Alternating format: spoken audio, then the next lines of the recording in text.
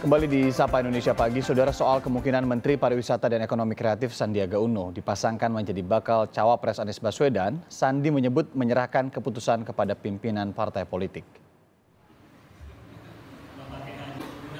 Pernyataan dilontarkan Sandi saat menghadiri undangan acara PKS di Yayasan Karawang Bekasi Madani di Kabupaten Bekasi, Jawa Barat. Sandi mengaku selalu mendengar masukan para ulama. Juga semua langkah politiknya harus dengan restu pimpinan partai dan pimpinan di pemerintahan. Sementara PKS menyebut mungkin saja Anies berjodoh dengan Sandi.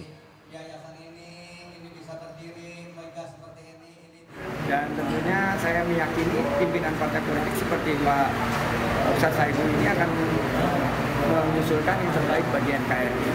Eh, dan saya percaya proses ini akan berjalan masih ada enam bulan ke depan. Uh, harapannya kita akan uh, berlanjut uh, dan pembangunannya dipercepat. Apalagi ini di Bekasi, semuanya harus uh, dengan restu pimpinan.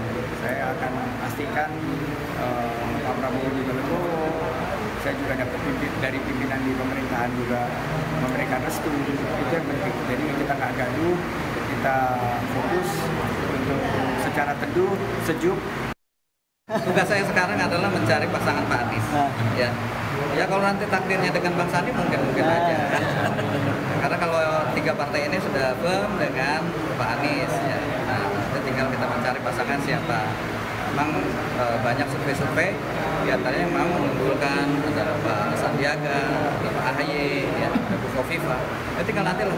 Kami kita berikhtiar, jodohnya dengan siapa ntar mudah-mudahan ketemu jalannya.